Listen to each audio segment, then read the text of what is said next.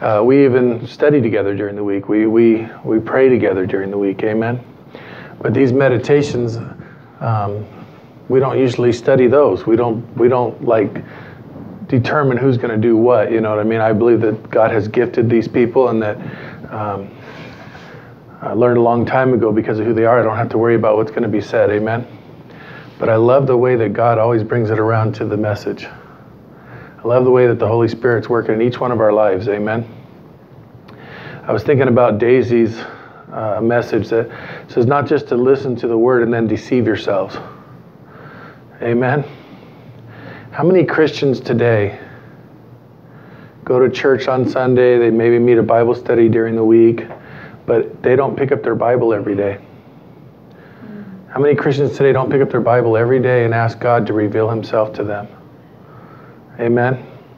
You know, when I first got saved, that was hard for me to do that. I was encouraged to do that by a really good, uh, close friend of mine that was a deacon in the church. But I had a hard time doing it because every time I did, the Holy Spirit would show me my life. And, and, and I didn't want to see that because I was living it and I was okay. I was enjoying myself and everything was the way I wanted it to be. Amen. So it was really hard for me at first because, like I said, every time, it's the way God works in our life. He has to get past that which is keeping us from Him.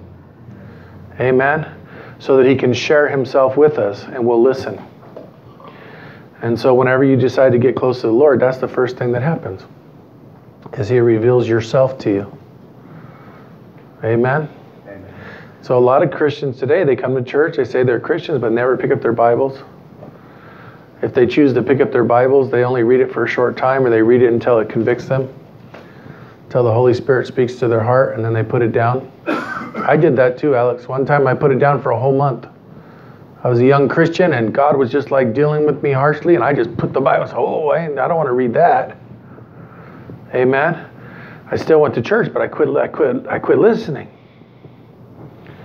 See, I quit. I quit accepting. Let's put it that way, because I didn't quit listening. I went to church and heard it every week. Amen. But you can literally deceive yourself into even thinking you're saved if all you do is listen to the Word of God. See, it doesn't change anything. Having knowledge changes nothing until you apply it. Amen? See? And me, I'm a young pastor, and I've had a lot of my pastor friends uh, uh, say things to me about certain things, and and um, and I look at the choices that they make sometimes, and I and I thank God that the choices I make are made by the little bit that I know. Amen. He's not asking you to know everything. He's asking you to take what you know and let Him work in your life with it. Amen. You get it? I want to read something to you um, to start this morning in Chronicles. I stole it from Brother Paul. He called me with it. He said, I just got done with Chronicles, and the one verse that keeps standing out. And I said, What is it? And he gave it to me, and it went with the message. I go, Oh, man, that's everything I was studying this morning. First Chronicles 28, just one verse, verse 9. This is King David talking to Solomon. 28 9, I said? Yeah. Okay, here we go. You guys there? First Chronicles, chapter 28, verse 9, it says, And you, my son Solomon, acknowledge the God of your father and serve him with a wholehearted devotion and with a willing mind. For the Lord searches every heart and understands every motive behind the thoughts. He seeks him. Oh. If you seek him, you, uh, he will he will be found by you. But if you forsake him, he will reject you forever. Amen. My brother said something today. He said that uh, he wishes that the, the real percentage of Christians was registered instead of 80% of the United States saying they're Christians. Amen. In reality, probably 10, maybe 15, 18%. of the United States truly seek Christ, truly have a wholehearted devotion to Him. Amen. Uh, I would say that number's high. I'm, I'm, I don't know. I would hope that I'm wrong, but I would say that that number is pretty high. Father, we just want to come to you right now, just asking, Father, that um, one of the things that you've been sharing with me, Lord, I want to share with the church is that uh, this time is a time of um, wholehearted devotion to you, you might say. It's a Father, I, I really believe that you've been calling me to bring the church into a quiet time with you, to make this a time where our hearts are open to receive everything that you have for us, even those things that you show us about ourselves that uh, you've freely delivered us from, but we are choosing to continue to live in, Lord. If that happens this morning, Father, we just ask that you would remove that from our hearts, Lord, remove it from our lives. Fill us with your presence, Lord. Give us an, an obedience to you over it, Lord. Make it possible, Father, for us to have a heart for you, Lord. Lord, to not just see past those things, but to not see those things anymore. To choose the things, Father, that you're revealing to us.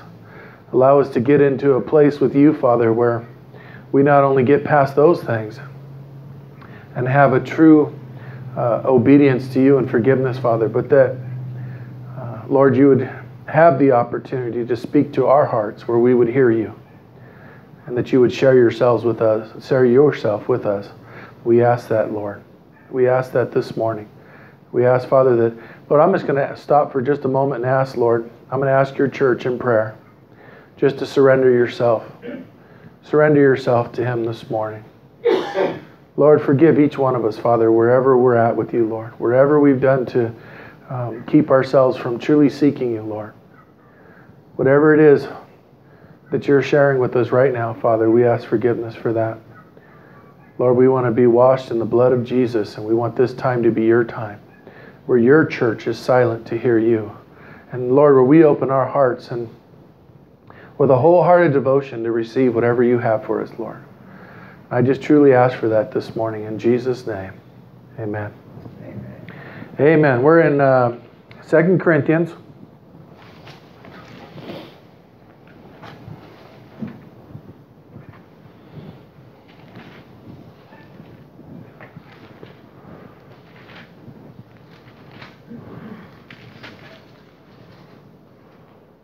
Nine 6. I want to talk a little bit about this first. I need to share this with you guys. I know you're already there with me, but I still need to put us back into focus of where we're at, okay? This is Paul restoring the church. What I mean by restoring the church is Paul's reminding the Corinthians uh, who have been going through a spiritual battle. He's reminding the Corinthians of when they first got saved. He's reminding them of how they used to act, who they used to be, He's putting them back in the right mindset of what of the of the life change God gave them. Amen. You know, sometimes we we become um, Christians that um, uh, are just we're all we do is talk about who we, who we think we should be, or or all we do is tell people what we want to be. Amen. But it's not really who we are. See, because we forget. The Bible says we forget the height we fell from. Do you remember the day you were saved? Do you remember that day? To me, that was the most amazing day. Amen. You, you know, that changed everything about me, changed my whole life in a moment. In just a moment of time, God revealed to me everything about myself. God revealed to me everything I've done, every destruction. Huh? You know what He opened my eyes to, Alex? Not just what I've done, but what it's caused.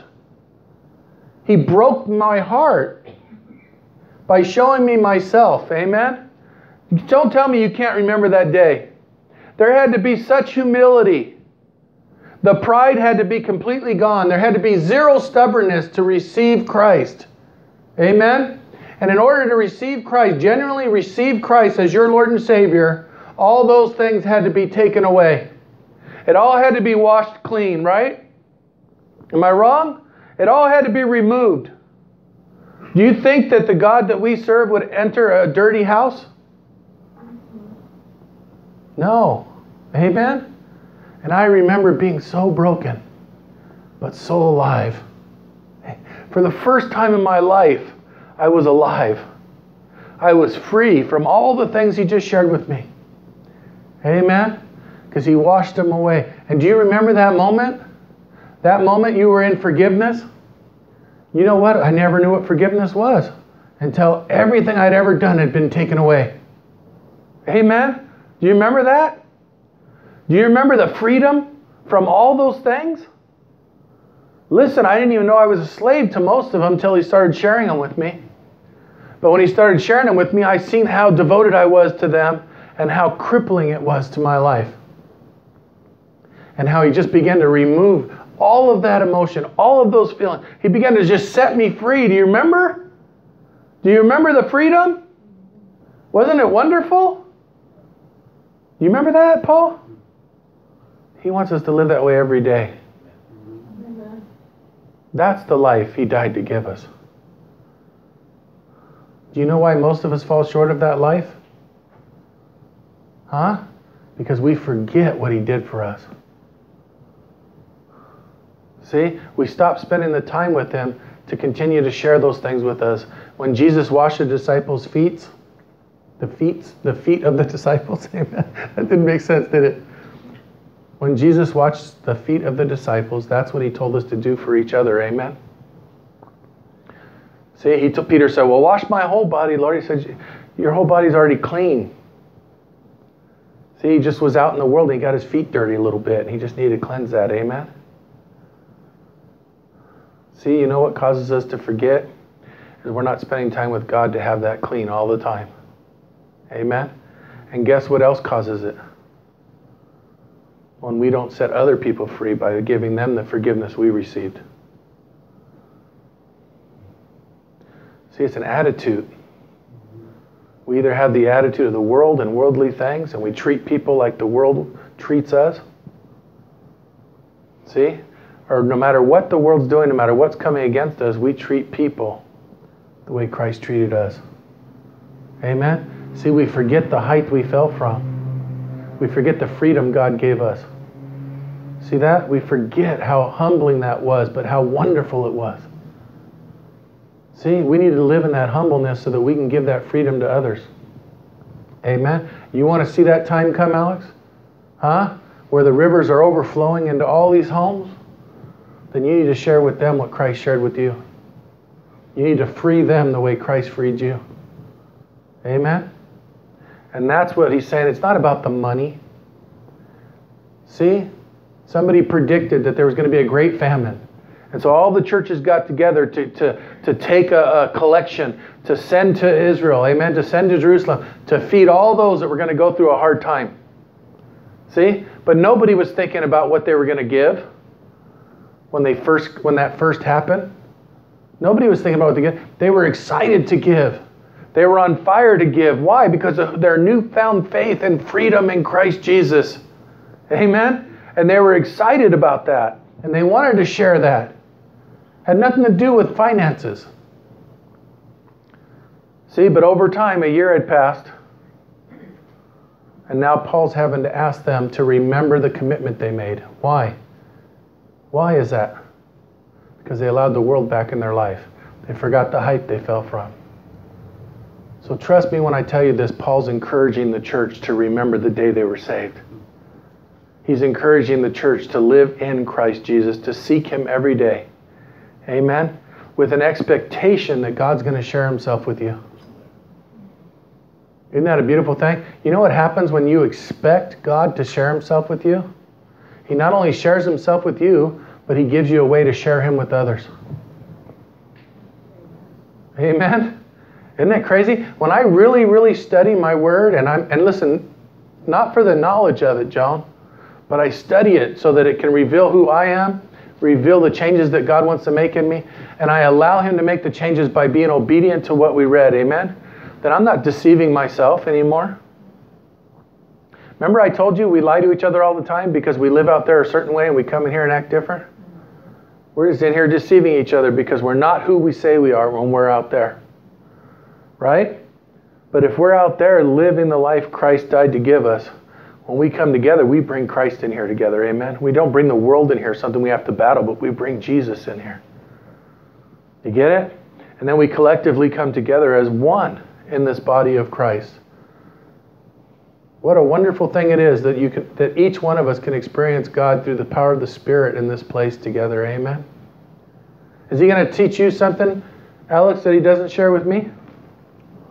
Same Spirit, same God. You guys there? It says, Remember this. This is 6, 2, 2 9, 6. 2 Corinthians 9, 6. Remember this whoever sows sparingly will also reap sparingly, and whoever sows generously will also reap generously. Each man should give what he has decided in his heart to give, not reluctantly under compulsion, for God loves a cheerful giver. Amen. Amen. God loves a cheerful giver. You know, when I was a young Christian man, I, I was scared to give something I didn't have. I felt like every dime I earned was, was just enough, you know what I mean, to, to pay our bills and maybe get a little ahead or something, you know. But um, I, the words of a very wise man once told me, Matt, you can't outgive God. You can't outgive God. Amen. I only said that because he's sitting here today. He's back there over there. Amen. You can't outgive God. And you know, my life, when I when I took that into consideration, my life became blessed, but I realized it had nothing to do with the money. The money was just a tool God used to get close to us. Because he knew it was one of the things that took us away from him. Amen. I don't give because I know the church needs it. I don't give because I feel, you know, like I'm responsible for something. I don't give for any of those reasons. I give because God gives to me. And God wants my heart. Amen. He wants my heart. He wants everything about me. He doesn't it's not just money. Look at it. It's other things that keep us from being with him, spending time with him, getting close to him. Okay? For some people, it is money. You can't serve two gods, money and, and God. Amen? You'll love the one and hate the other, despise the one and follow the other. You can't serve two gods. Watch what it says. And God is able to make all grace abound to you, so that in all things, see, he went from talking about the money they were supposed to give to the blessing that's going to come because they gave it righteously. You get it? Watch what he says. For God loves a cheerful giver, and God is able to make all grace abound to you, so that in all things, at all times, having all that you need, you will abound in every good work, as it is written. Amen? You know what happens when we are obedient to God? You know what happens when we're obedient to God? He gives us, he gives us more than we need. He gives us more than we need. Amen? You ever see people that, that uh, already have more than other people, right? But they're always acting like they're starving? Huh? No lie, I've been, look at, I know I've said it before, but I've been places where, where there's a potluck going on, right? And they pile the food as high as they can get on the plate. I don't even know how they can balance it. I don't know how they can balance it, but they get it going. Right? They eat the whole thing and then they're back in line before some people had got there first, the first time. Some people haven't even been up there yet. I've seen it happen. I've seen it over and over again. And I pray for those people for understanding because they're always going to be hungry. They're always going to be hungry. You get it? They're always going to be chasing something they shouldn't be chasing and never, ever having enough of it. You get it? But when we surrender ourselves to the Lord, man, the grace that abounds. And all the resources come. And He starts to open our minds and hearts to what He's called us to. And He shows us how to get it done. Amen? He's got something for each one of us. And most of us are chasing the plate of food And we're always hungry and we miss everything He has for us. And He's telling us don't be those people. Don't be those people. Amen? And God is able to make all grace abound to you, so that in all things, at all times, having all you need, you will, you will abound in every good work as it is written. He has scattered abroad his gifts to the poor. Amen. His righteousness endures forever. Now he now that poor right there, you guys, I want to explain that to you. I'm sorry, I don't want to get ahead of myself. That's not being poor financially. Okay? That's being poor in the little s spirit so that the big S spirit can give you life and all the things you need. Amen? That's the height we fell from. Do you remember? Paul, if I would have had any pride, any stubbornness, any anger towards somebody else, any, any, anything, then I don't think that I would have been forgiven and had Christ come into my heart. I literally had to surrender all in order to receive Him. Amen? And in surrendering all, I became like Him. You see it? So, in becoming like Him, everything that was wrong was removed that I might choose to live in Him and be in Him and have eternal life in Him. Amen? See, we need to choose that every day. We need to choose to be poor in the world, poor in the spirit of the world. We need to choose to be rich in God. We just read a couple of chapters ago that Paul became poor that many might be rich. Amen? And we read last week or the week before, I think it was, where Jesus had everything in heaven with the Father, came to live on this earth and became poor that we might become rich and have eternal life in his kingdom. Amen? You see the beauty of what we're talking about?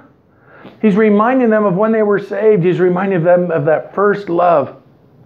That first love they've been forsaking. Amen?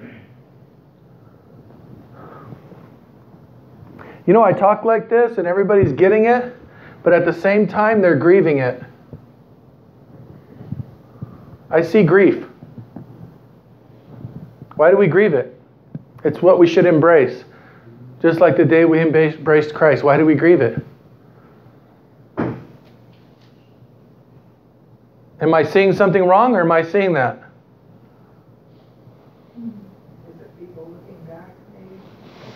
I think they're looking at what they might miss if they truly surrendered to Christ again. And guess what? The thing that you're grieving, that you think you might miss, is the very thing keeping you from having anything special in Christ. Amen. Having the truth of a life that's abundant in Him. Now, he who supplies seed to the sower and bread for food, here's what he's saying. Listen to this. He will not only meet your physical needs, but he will meet your spiritual needs. And let me tell you something flesh and blood can't inherit the kingdom of God. Okay? We serve a God of spirit and truth, and He wants worshipers who will worship Him in spirit and truth. So, yeah, he, we're here on this earth. Jesus said, I'm not asking you to take them out of the world, I'm asking you to protect them while they're in the world. Amen? He's going to provide our physical needs. But how much more important is the spiritual need that He's going to meet? Watch what it says. He who supplies seed to the sower and bread for food will also supply and increase and increase your store of seed and will enlarge the harvest of your righteousness. He's talking about your spiritual walk. Amen. Isn't that beautiful? Go to Luke really quick. I want to explain this better. I don't remember where I put my marker there. Wherever this thing pops out. There we go. it, the title is under Judging Others. Luke 6 37. Let's listen to what Jesus has to say about what I'm talking about this morning. Amen. You guys, you guys there? Luke 6 37. You know what I used to tell people all the time? If I didn't judge people, they wouldn't see me. I would be invisible. Because what, how you judge, you're measured to the same judgment. You understand? But everybody in the world judges everybody for everything. So if I chose not to judge, they wouldn't see me. There'd be nothing to measure. Right? That's what I used to tell people. Isn't that cool? Amen. I don't know. Let's just read it. Do not judge, and you will not be judged. Amen. Do not judge, and you will not be judged. That doesn't happen immediately because everybody judges. But when a person gets to know who you are, amen, then the judgment they make will be righteous about you if you're a child of God. I told you guys last week, I want to be the type of man that you already know the answer to the, your question before you ask me, because you know who I am. Amen? Get it? And here's something else about judging like this we see what the world sees when we make a judgment. That's very worldly. Okay? But when we're walking in Christ, and not only are we receiving for us what He wants for our life, amen, but He starts to show us what He wants for the life of others. So we no longer see what the world sees, but especially like if you have a major problem with somebody, pray for them every day. You pray and spend time in Christ for that person every day, and God's going to show you a new person. Your anger is going to leave. Any kind of, um, yeah, right? He's going to change your heart towards that person, and he's going to start to show you that person the way Jesus sees the person. Sadly enough, we see what the person, we see, all we see is what the person's doing, right? We see the outcome of what God wants to change. We don't see what needs to be changed. And so we judge them by that. See, we're acting just like the world in the world. We need to see what God wants to do with that life. Amen. You know how I see that, Eddie? You know how I see it? I remember who I used to be and who I am today. I had a young man in Bible study this week tell me that I had such a great testimony because of who I was and what God's done in my life. And you know what I told the young man? You now have the same testimony because I love who you've become. He, he wasn't even seeing himself, he was still looking at somebody else who helped to lead to him to Christ. Amen? But I, I talk nothing but good about him and I praise him to everybody because I'm so proud of the life he has now instead of the life. Ange, what are you going to do with the rest of your life now that you're not going to die young?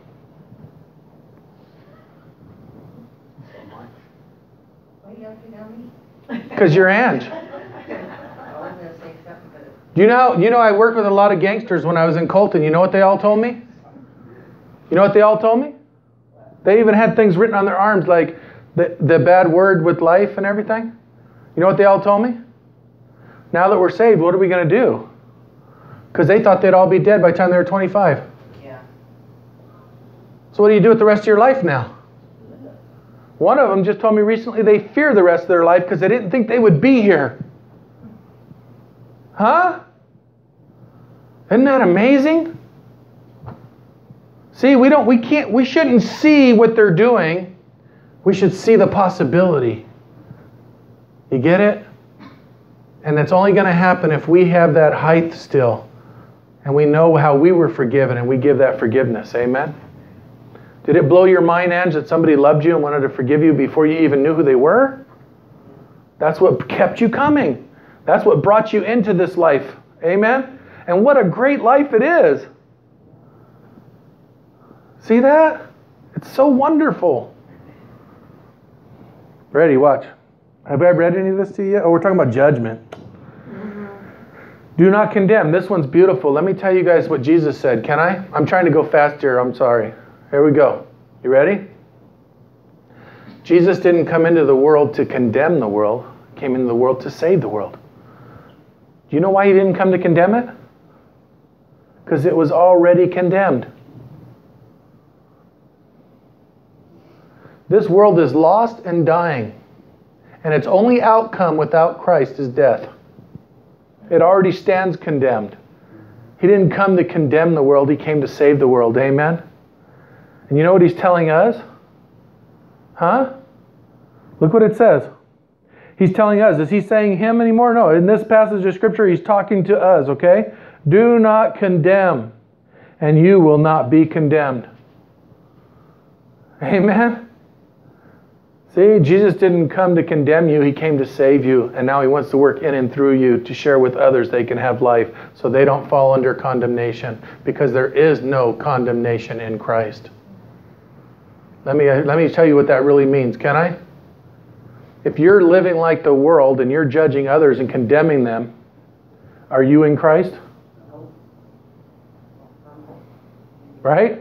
But if you're choosing to seek Him every day and allow His Spirit not just to reveal to you who you are, but who you could be in Him, because He's sharing Himself with you, and you go into the world to share Him with others without condemning them, amen? That's being in Christ. There is no condemnation in Christ. So if I'm in Christ and I condemn somebody, I'm not in Christ. I'm coming to them in the world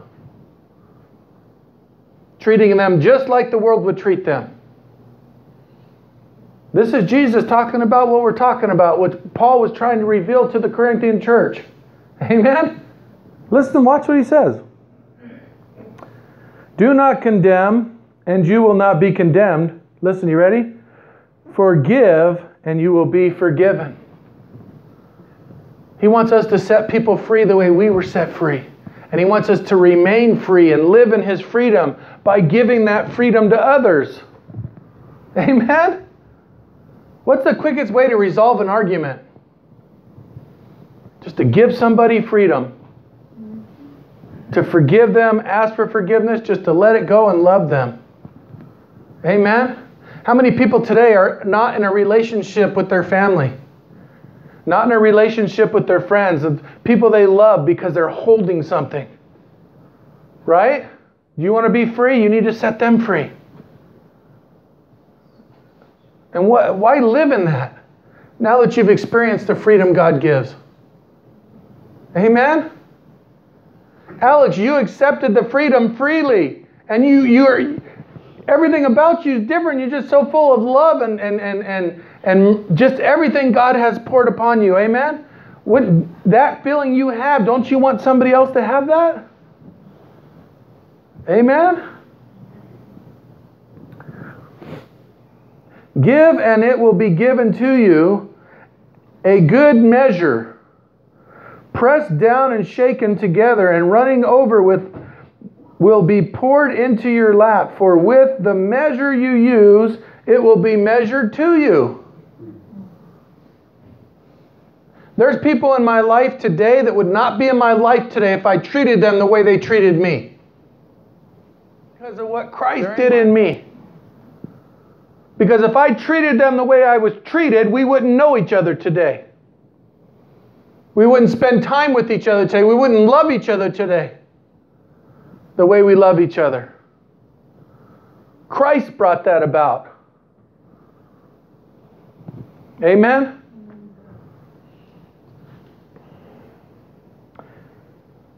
For with the measure, okay, listen to, are you ready for 39? Are you ready for this? I can't believe it gets better, but it gets better. He also went on to, he also went, he also told them this parable. Can a blind man lead a blind man? You know what he's saying? Can somebody in the world lead somebody in the world? No, guess what'll happen? You're both going to fall off a cliff into a pit. Guess what the name of the pit is?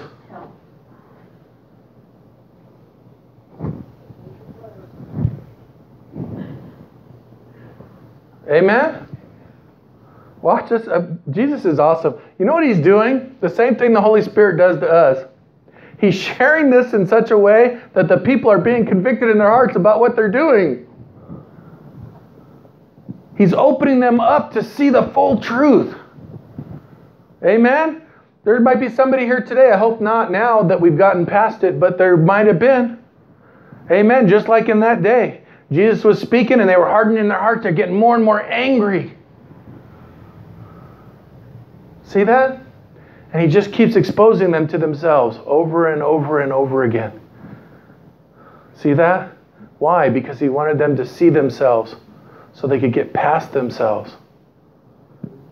Amen. Watch what he says. he's so amazing. Can a blind man lead a, a blind man? Will they not both fall into the pit? A student is not above his teacher. You know what he's saying here? Some people think they're above God. They think they're above God. They think that their wisdom is all the wisdom they need and they're okay and they're righteous. And I'm talking about in the church. Watch what he says. A student is not above his teacher, but everyone who is who is fully trained will be like his teacher. Amen. He's saying, let the Holy Spirit convict your heart, and then let the Holy Spirit reveal who he is to you so that you can be like him. Don't just merely hear the word and not apply it to your life. Amen. Man, Jesus is beautiful, isn't he? Why do you look at the speck of sawdust in your brother's eye? All we do is just keep pushing each other away, pushing each other away, pushing each other away, pushing each other away. Because we can't see clear enough to get the speck out of your eye because we haven't removed the beam from our own yet. We haven't spent time with God yet. We haven't let Him change our hearts yet. How am I supposed to tell you about Jesus if I haven't experienced Him? How am I supposed to make a difference in your life if God hasn't made a difference in mine? How am I supposed to make a difference in your life if I keep judging you the way that the world judges you? If I condemn your actions before you have a chance to answer to them? Most of us won't talk to other people because of what we see. And we pick and choose who we're going to talk to. And we make wrong choices doing that. That's not where God wants us, that's where the enemy wants us. It's the truth. Why do you why do you look at the speck of sawdust in your brother's eye and pay no attention to the plank in your own eye? The only way you're going to see that is if you spend time with God and He reveals it. Amen. How can you say to your brother, Brother, let me take the speck out of your eye when you yourself fail to see the plank in your own eye? You hypocrites. Hypocrite. First take the plank out of your eye, and then you will see clearly to remove the speck from your brother's eye. Amen? Amen. You're not going to do it in the world, you're going to do it in Christ. You're going to do it by the power of the Spirit. Amen? Go back to Corinthians. Let's close this up. 2 Corinthians 9.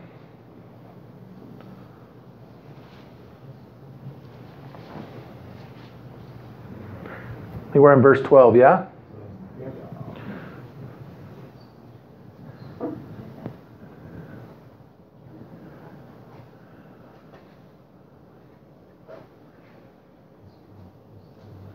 Oh, let me back up to 11. I don't think we did 11. Okay, you guys there in 11? Now, this again, he's talking about using the money to get to the hearts of the people. Talking about doing what God called them to do so that the lives of the people can change. Amen? Watch what, and not just their life, but the Corinthians' life. The people that that's going to be given to and the people that are going to hear about it. Amen? It's, it's, it's, a, it's an attitude adjustment that needs to take place in our hearts. Amen? Watch what he says. 11 says, You will be made rich in every way. Is that talking about money? You will be made rich. You will be made like Christ in every way so that you can be generous on every occasion. And through us, your generosity will result in thanksgiving to God. Amen? See, can you imagine? Remember last week I told you about how some people came to us and, and their daughter was hungry in San Bernardino, and a few families got stuff out of their cabinets because we didn't have a lot of money. and We took it to them. And then, like a couple weeks later, some guy shows up at my house, and everything I'm putting away that he gave us, that he said God put on his heart to take out of his cabinets food he thought we would eat and brought it to my house. And as me and Kathy were putting it away, it was the same thing God put on our heart to give to the lady in San Bernardino. What? Isn't that amazing? Let me tell you guys something, can I? It had nothing to do with the food, it had nothing to do with money. In my heart, I hope that, that girl out there rejoiced in that food when she was eating it. Rejoiced and praised God because she had food on her table. Amen? But me and my wife, we rejoiced in God for the ability to give it. And then we got to rejoice in God again when it was given back. It was life changing. Amen? It was life changing. This service that you perform is not only supplying the needs of God's people, but it is also overflowing into many expressions of thanks to God. Amen? There it is right there. It just keeps giving. It just keeps giving. Because of the service by which you have proved yourselves, men will praise God for the obedience that, com- that accompanies your confession of the gospel of Christ and for your generous generosity in sharing with them and with everyone else. Amen. Don't you get it? It has nothing to do with the money. It has everything to do with the heart, your heart, God's heart living in you. Amen. That's what you're sharing. That's what people are receiving. That's what changes lives. Watch. And in their prayers for you, their hearts will go out to you because of the surpassing grace of God has given you. Thanks be to God for his indescribable gift. Amen. Amen. Isn't that wonderful? You know, how beautiful are the feet of those who bring the good news. Amen. Amen. Father, we just want to come to you today, Lord, just asking, Father, your blessing. I would hope, Lord, that I would hope, Lord, that your word I would hope, Lord, that your word gave life today.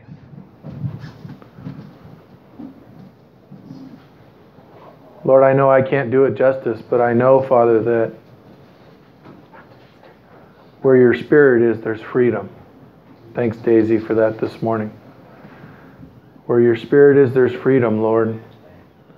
And I would hope that today we experience your, your spirit in that freedom. I hope today that we experienced you, Lord, and that your word became alive to us, and that there was something that was life changing about it, about your word that would, would just allow us, Father, to truly be forgiven to truly accept that forgiveness, to truly accept, um, Lord, even the harshness that comes from you sometimes. So that we, like that song we sang in Sunday school, uh, Refiner's Fire, my heart's one desire. Wow, can you imagine? We're desiring to be uh, melted down and the sin being skimmed off of our life that we might become more pure, pure gold.